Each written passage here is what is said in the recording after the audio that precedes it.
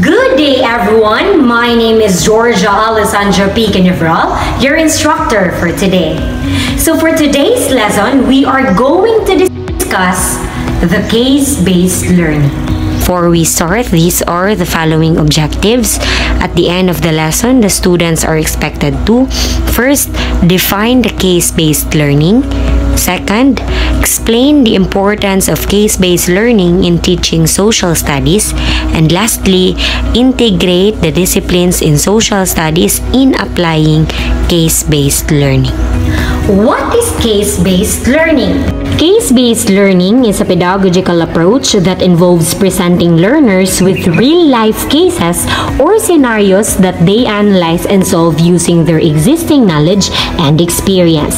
So the basic idea is to provide students with authentic problems to solve rather than simply presenting them with theoretical concepts to memorize. So what are the things that a student can develop when we use a case-based learning?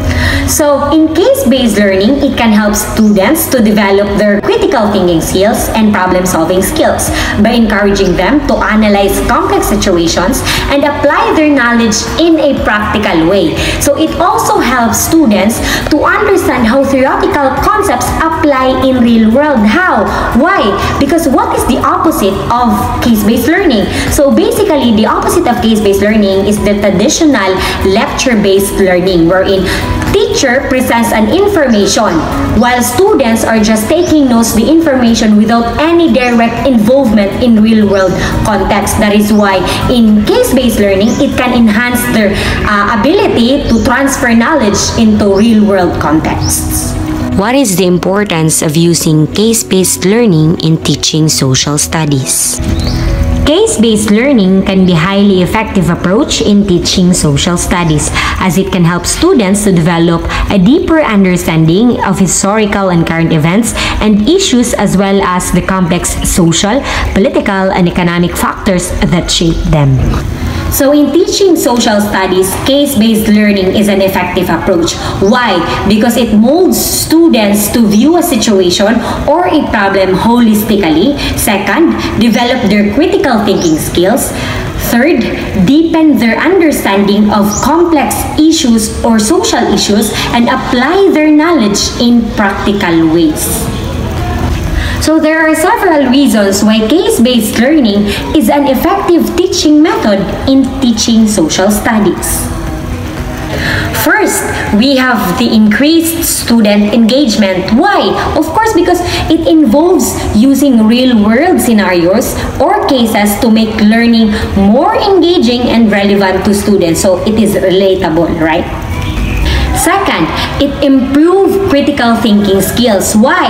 Because it requires students to analyze complex issues and make connections between different aspects of the case or the factors within the case. Third, deeper understanding of historical and cultural issues because it allows students to explore complex historical and cultural issues. That is why it is both engaging and informative. Fourth, it promotes active learning. Why? Because it encourages students to take an active role in their own learning by requiring them to analyze, interpret, and apply their knowledge in a most meaningful way. Lastly, it encourages collaboration because in case-based learning, it often involves group work which can help foster collaboration and communication skills. So here's a step-by-step guide to creating a case-based lesson plan in social studies. First, select an appropriate case. Choose a case that is relevant to the topic that you are teaching and that will engage students' interest that is aligned with the curriculum guide. Second, identify learning objectives. Determine the specific learning objectives that you want to achieve through the case-based learning activity. Third, develop questions and prompts. So create a series of questions and prompts that guide students through the case study.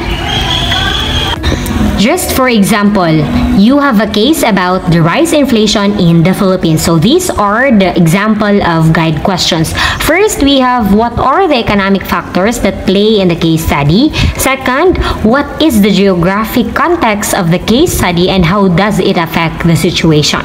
Third, what are the political structures and institutions involved in the case study? Fourth, what philosophical concepts or ethical principles are relevant to the case study? Fifth, what is the context of the case study? And lastly, what are the possible solutions in the case study? Next, we have to facilitate group work. So as a teacher, we are the facilitator in this learning because case-based learning is a student-centered learning. Lastly, assess student learning. So we have to use variety of assessment tools to evaluate student learning such as rubrics.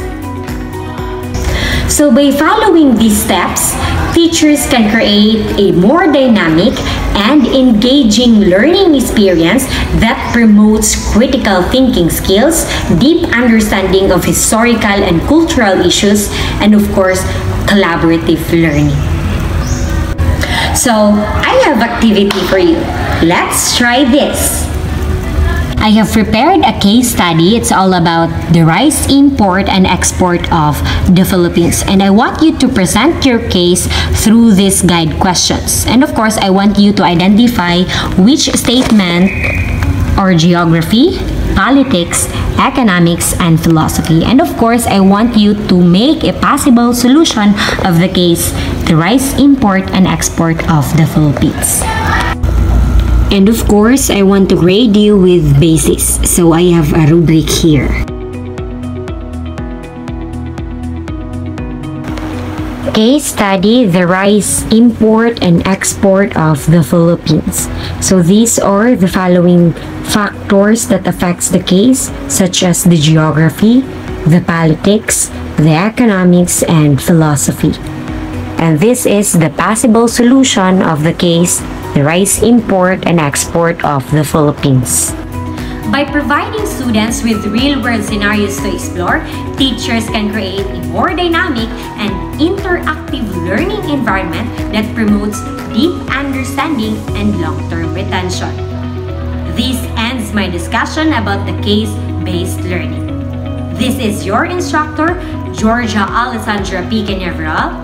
Thank you for watching!